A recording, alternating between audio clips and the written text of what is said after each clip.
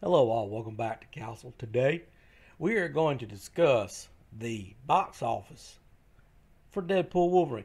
And this ain't, I'm no expert, but I'm curious just how much money this movie is going to make. Two weeks, two weekends, and we are up to a worldwide box office of $824 million. That is, that's done pretty good.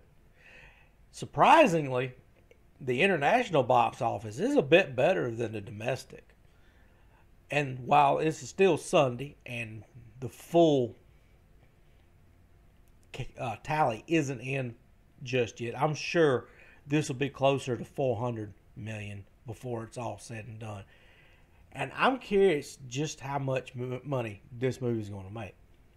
And to be completely honest, I'm very curious on what lessons Hollywood's going to take away from it. And I seriously doubt any of them is going to be the right ones. Mostly like uh the way to go is cameos.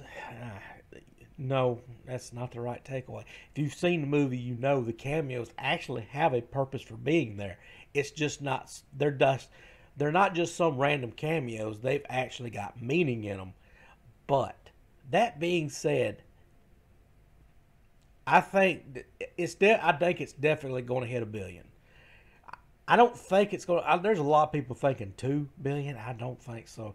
I think it'll start really dropping off because it's it's down 54 percent overall domestically.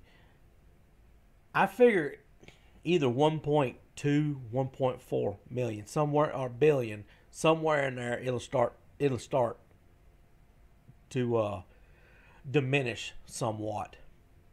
I figure week five, will you'll see where this where this movie is going to land. That being said, thanks for watching. I will see you guys next video.